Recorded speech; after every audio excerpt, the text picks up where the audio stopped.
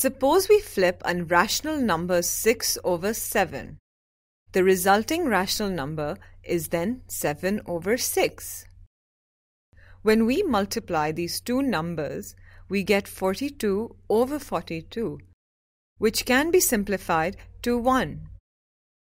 Let's flip another rational number. When 4 over 5 is turned upside down, we get the rational number 5 over 4.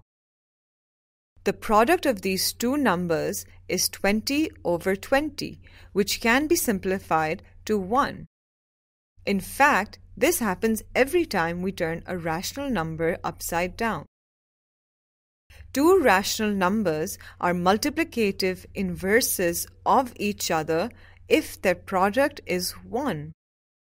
Another name for the multiplicative inverse is the reciprocal. For instance, the multiplicative inverse or reciprocal of 5 over 2 is 2 over 5, since their product is 1. Generally, to find the reciprocal or multiplicative inverse of a number, we simply turn it upside down. The numerator becomes the denominator and the denominator becomes the numerator. Study these numbers. The reciprocal or multiplicative inverse of minus 1 over 2 can be determined by flipping the number. 2 becomes the numerator and 1 becomes the denominator. Note that the negative sign does not change when we flip a number. So the reciprocal of minus 1 over 2 is minus 2. Since their product is 1, our answer is correct. The multiplicative inverse of 3 over 5 is 5 over 3, which can be verified by multiplying the two numbers. The number 0 can be written as 0 over 1. Flipping 0 gives us the number 1 over 0. However, any number that is divided by 0 is undefined. Furthermore, 0 multiplied by any number is 0, not 1.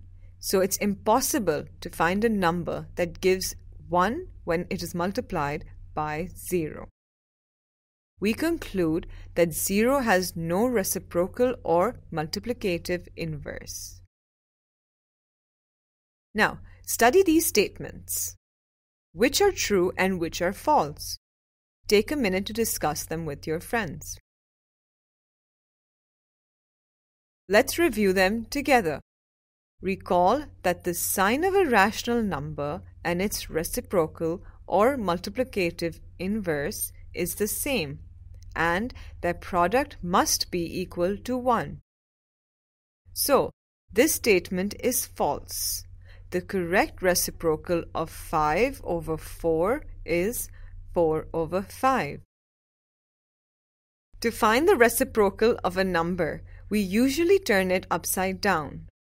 The reciprocal of 1 is 1, which can be confirmed by taking their product, which is also 1. So, this statement is true.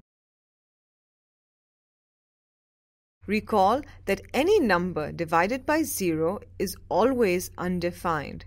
So, the reciprocal of 1 over 0 does not exist and this statement is false. To summarize, two rational numbers are multiplicative inverses or reciprocals of each other if their product is 1. 0 is the only rational number whose multiplicative inverse or reciprocal does not exist.